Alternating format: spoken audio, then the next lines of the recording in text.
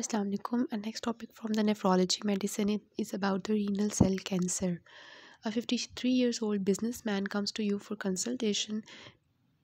पहले वो बिल्कुल ठीक था, लेकिन अब उसको राइट फ्लैंक में डिस्कम्फर्ट हो रही है और लो ग्रेड फीवर है he recalls noticing dark coloured urine हो रहा है उसको two occasion but ignore it मतलब अभी तक हमने देखा कि उसको राइट साइड पे डिस्कम्फर्ट हो रही है और डार्क कलर्ड यूरिन आ रहा है मतलब some haematuria type there is no history of weight loss and no family history of renal stones urine examination revealed physical appearance smoky R B Cs जो है वो न्यूमरस थे डब्ल्यू बी सीज थे proteins हैं urate crystals हैं पान and creatine normal है। C B C में एच पी जो है वो, आपको क्या लग रही है एच पी वैसे?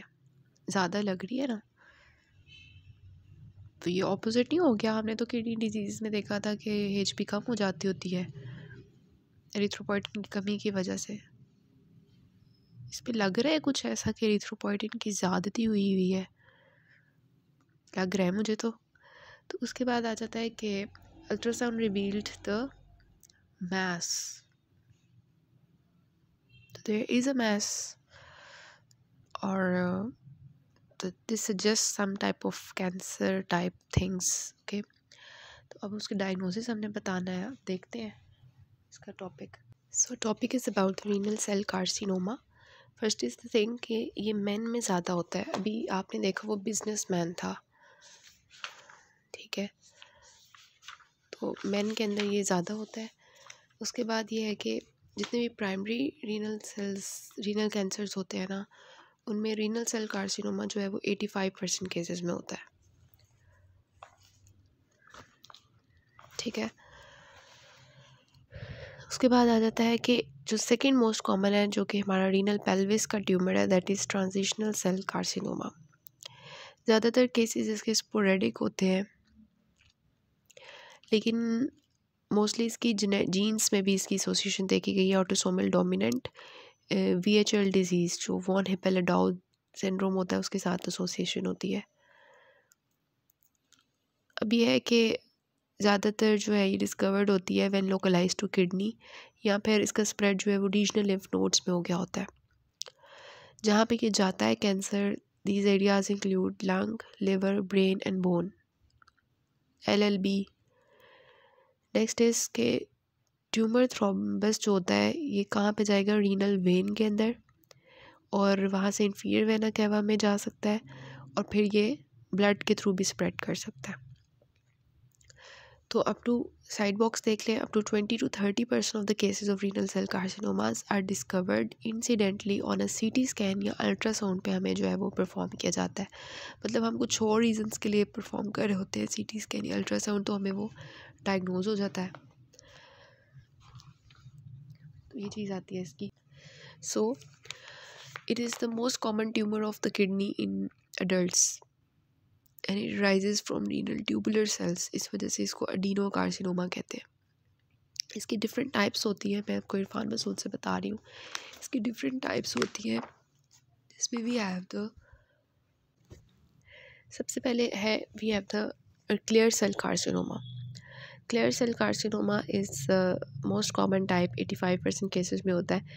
It is associated with the early spread of the tumour into renal pelvis and associated with the haematuria इसके अलावा we have the papillary carcinoma इसके अलावा we have the chromophobe carcinoma and we have the collecting duct carcinoma अब इसके risk factors की तरफ़ आते हैं कि what are the risk factors which are actually responsible for the renal cell carcinoma. So these are smoking analgesics use, अगर बहुत ज़्यादा एनर्जीजिया की यूज़ किया जाए पर्टिकुलरली फेनेसिटिन या एसिटामाइनोफेन एंड सेड्स एस्पारीन इसके अलावा adult polycystic kidney disease then chronic dialysis क्योंकि क्रॉनिक डायलिसिस की वजह से मल्टी सिस्टिक डिज़ीज़ डेवलप हो सकती है। इसके अलावा exposure to heavy chemical heavy metals like mercury cadmium hypertension and obesity so, these are the risk factors for the renal cell carcinoma. Then are the clinical features. So clinical features तो आपको समझ आ गए होगी, अभी हमने Stadio भी discuss किया है कि वैसे तो ये एसिम्टोमेटिक होते हैं, लेकिन इसका मोस्ट कॉमन सिम्टम जो होता है सिक्सटी परसेंट केसेस में that is haematuria which can be gross और माइक्रोस्कोपिक इसके अलावा एब्डोमिनल डिस्कम्फर्ट होगी एब्डोमिनल जो है वो मैस हमें मिल सकता है। जैसे कि अभी हमने देखा एब्डोमिनल पेन हो सकती है। पेन ऐसा एसोसिएट नहीं होती इसकी, वैसे मैस ही आपको लगता है। ठीक है? और इसके अलावा जो है न्यूप्लाजम्स की जो फाइंडिंग्स होती हैं लाइक वो कभी कभार हमें मिलती हैं, वैसे नहीं मिलती। जैसे इस पेशेंट में आपको कोई वेट लॉस नहीं मिल रहा था। फीवर अनीमिया और ऑफ़ क्रॉनिक इन्फ्लेमेशन इसके अलावा पैरान्यूप्लास्टिक सिंड्रोम्स अनकॉमन है कि ये ट्यूमर्स क्या करते हैं, ये इसका आंसर है। देखें ज़रा, कि ये ट्यूमर्स जो है, वो क्या करते हैं कि वो इरिथ्रोपोइटिन की बहुत ज़्यादा एक्सक्रीशन कर रहे होते हैं, इसकी वजह से पोलीसाइथीमिया हो जाता है। या ये ट्यूमर्स क्या कर रहे होते हैं पैराथायरॉयड हार्मोन रिलीज़ करना शुरू कर देते हैं, जिसकी वजह से हाइपर कैलेसीमिया हो सकता है। तो कभी कभार जो है, बहुत ज़्यादा रेनिन रिलीज़ करना शुरू हो जाते हैं which result in hypertension due to salt water retention कभी कभार ये बहुत ज़्यादा कॉर्टिसोल रिलीज़ कर रहे होते हैं विच कॉजेज़ कुशिंग सिंड्रोम और कभी कभी ये ग्रेडोट्रॉफिन रिलीज़ कर रहे होते हैं विच रिज़ल्ट इन फेमिनाइजेशन और masculinisation so it can be associated with paraneoplastic syndromes, resulting in high quantity of these things. So side पे लिखा हुआ है classical triad of haematuria flank pain and abdominal mass जो कि आपको तीनों चीज़ें मिल रही थी किस किसमें? स्नैरियो में जो हमने डिस्कस किया था, फ्लैंक डिस्कम्फर्ट थी, एब्डोमिनल मैस था और हेमेचूरिया था। तो this is classical triad which occurs in case of renal cell carcinoma तो these are the clinical features तो आप इसको जो है वो ईजीली जो है वो डायग्नोज कर सकते हैं। Then is diagnosis diagnosis is abdominal C T scan with और विदाउट कंट्रास्ट किसी भी कैंसर के लिए ना हम सी टी स्कैन परफॉर्म करते होते हैं यू नो दैट और बायोप्सी लेते होते हैं। ये तो चीज़ें पता है ना आपको?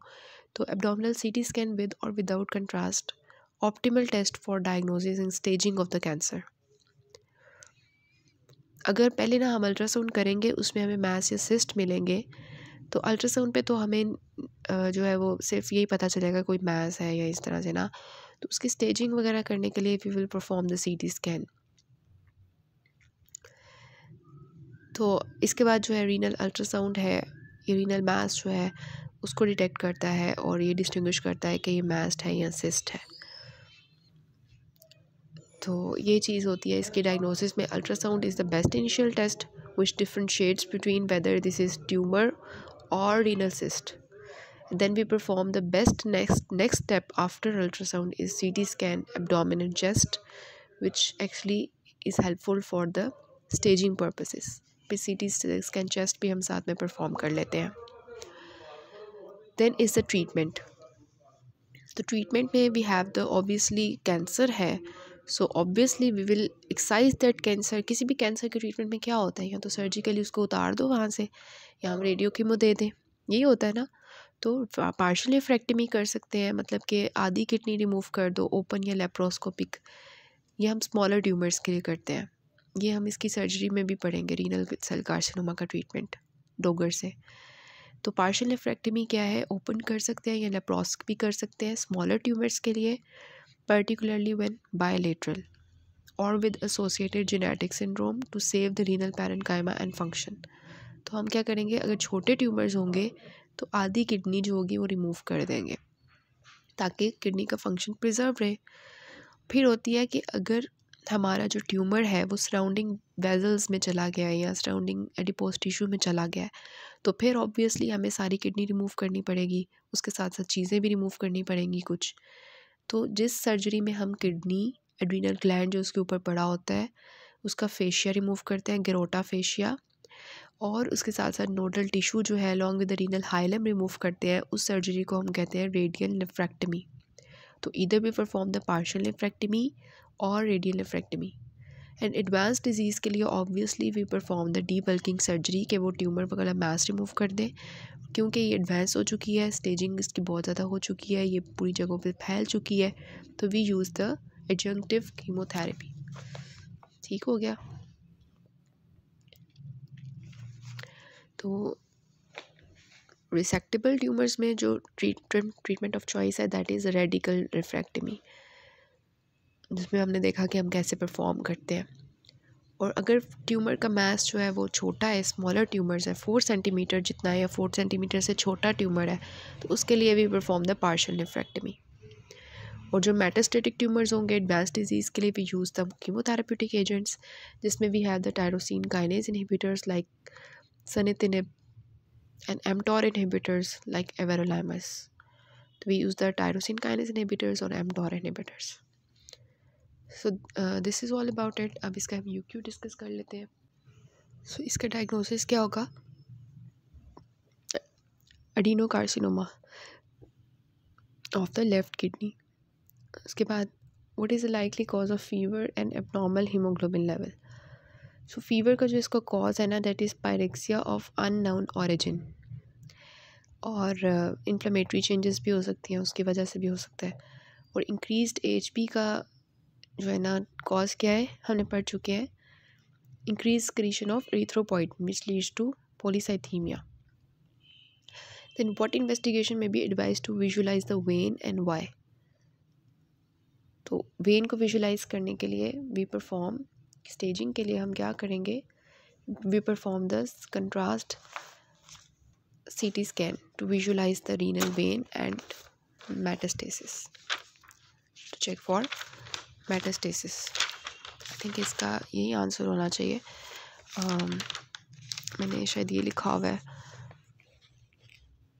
हाँ contrast enhanced C T scan उसके बाद आता है कि what is the primary treatment of this patient तो उसका मैथ्स का जो साइज़ है उसकी बेसिस पे वी विल परफॉर्म द क्योंकि इतना बड़ा साइज़ है ना फोर सेंटीमीटर से बड़ा है we perform the radical nephrectomy ठीक है? उसके बाद C T scan sorry investigation में भी need to visualise lungs and why तो लंग्स को करने के लिए हमने क्या किया था? C T scan of the chest और क्यों हम करते हैं? To check for the lung metastasis तो ये वन वर्ड आंसर्स हैं छोटे मोटे आंसर्स हैं. So this is all about renal cancer ये आपके पास डेविडसन की पिक्चर है, इसमें आपको फ़र्स्ट में जो है वो C T scan of the right kidney दिखाया हुआ है। उसमें आपको ट्यूमर दिखाया हुआ है एरो के साथ। कंट्रास्ट सी टी स्कैन है। और next is the renal cell की वजह से, रीनल कैंसर की वजह से जो हमने किडनी रिमूव की है ना, उसका दिखाया हुआ है कि नेक्रोसिस हुई हुई है। So this is all about renal cancer